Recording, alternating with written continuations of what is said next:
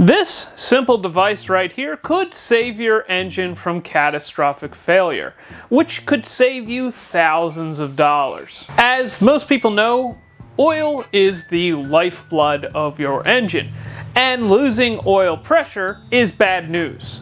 And recently we discovered the magic of an oil accumulator. Now, before you click off and say, so what, it's an oil accumulator, that's nothing new. We actually recently discovered that this is useful for more than just filling in the low spots and can actually result in better oil supply to your engine at all conditions. So let's get into it.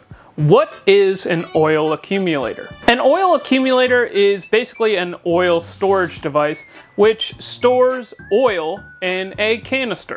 There is usually some sort of bladder or piston uh, which uses pressurized air to accumulate the oil that will sort of pressurize the oil that comes in and push it back out when the engine needs it. In situations where the vehicle is experiencing large amounts of acceleration, where the oil pickup may become uncovered with oil and might start to suck air. An oil accumulator is extremely useful because it will store oil while the engine is running and the oil is pumping, and then it will push it back out and supply oil to the engine when the oil pump cannot. This is really useful for vehicles that are experiencing lots of lateral acceleration, or in our case, where our oil pan is designed for acceleration in the positive direction, and during the shutdown, we are experiencing lots of acceleration in the negative direction. The oil in the sump is sloshing forward in the oil pan.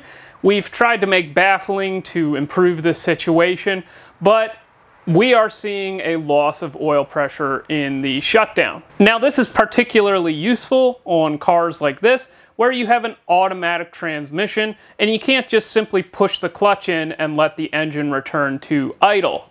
In our case, we have to let the engine coast down because it is a reverse pattern transmission and we can't simply just shut the engine off because that will cause transmission damage. Some cars are equipped with something called a clean neutral, which allows them to basically shift the car back into neutral on the top end, but we don't have one of those because they're expensive and they're not really very street friendly. And this is a known phenomenon. If you watch Big Chief from Midwest Street Cars, he talks about this a lot and how he goes through his shutdown procedure. When those lines go away, that's me shutting off the ignition. That way the engine isn't running uh, when I'm in the shutdown and all the oil is sloshed to the front of the oil pan.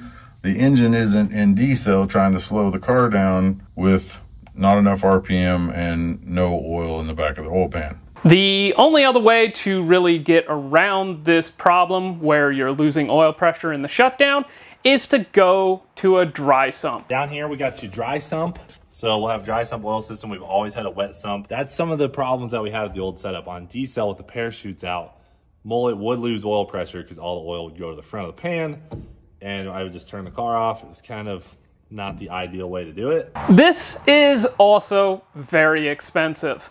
And we were trying to avoid that on this car just because it involves a lot of extra complication and a couple thousand dollars worth of upgrades. And therefore we installed a Moroso oil accumulator on this car and it completely solved the problem in the shutdown. In fact, let's look at a data overlay. You can clearly see that the dash line is the old setup, the solid line is the new setup, and we can see that the oil pressure maintains in the shutdown. That being said, we noticed something weird oil pressure had improved everywhere at all operating conditions. This didn't really make sense to me. If anything, there is more load on the oiling system with the oil accumulator added, and I have always heard that an oil accumulator will never result in more oil pressure, and it's only really meant to fill the gaps, and it's sort of a compromise between a wet sump and dry sump setup. However, we saw improved oil pressure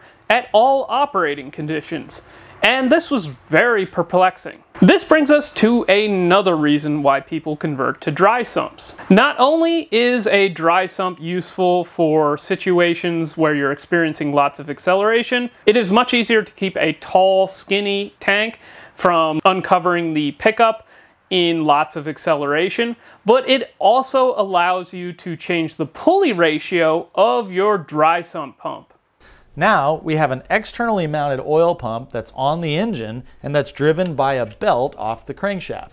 One of the first advantages to doing it this way is now we have control over the pump speed. We can speed it up or slow it down by changing the size of the pulleys. But again, dry sumps are really expensive. With engines such as the Coyote LS 2JZ and this right here, the Vortec 4200, if you're running a factory oil pump, you don't have the opportunity to change the drive ratio of the oil pump. In other words, the engine speed and the oil pump speed will always be the same because they are directly tied to one another. What this means is that we have a pump that from GM was designed to spin at 6,000 RPMs max, and we are now taking it to 8,000 RPMs. Now, if we get into a little bit of engine theory, the oiling demands of the engine don't really increase a whole lot with RPM. However, the pump speed is, is definitely going up.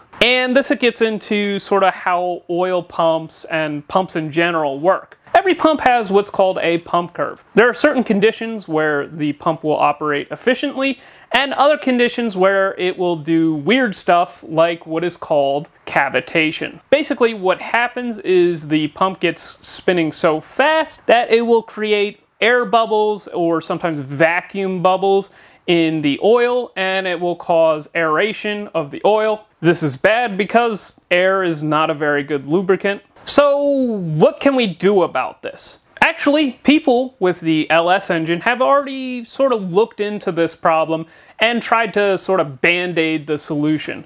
If we look at some aftermarket solutions, some guys are actually taking the output of the pump and bypassing it back into the suction section of the pump in order to create a little bit more oiling demand at high RPM. The problem with this is you're kind of wasting the pumping potential of the engine, and it would be more useful to be able to take that oil and do something with it. Don't you agree? It would be nice if you could almost like accumulate the oil pressure and then use it in situations where it might be useful. And that brings me to my point. I think we have found a hidden gem here. What I think is happening is the oil accumulator is causing there to be more oiling demands at high RPM and it's putting the pump into a happier spot.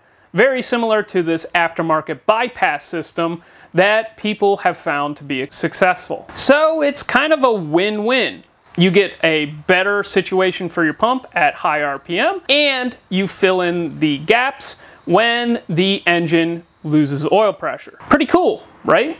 But I don't think we are the first ones to have discovered this. Every year, my dad and I go to the Haltech World Cup Finals held at Maryland International Raceway. And we basically go there just to walk around the pits and get ideas for our race cars. We look for cool stuff like this, or this, or this, or this, or this, or this. And something we have noticed is that the more budget racers are using accumulators very often. And we noticed a trend that a lot of the high revving Coyote combos seem to really favor an oil accumulator. And we think that they have probably found the same thing that we did. So for situations where you can't afford a dry sump and you want to supply the engine with oil, in the shutdown, I present to you what we have found to be a hidden gem, the oil accumulator. And by the way, this video isn't sponsored, but it should be.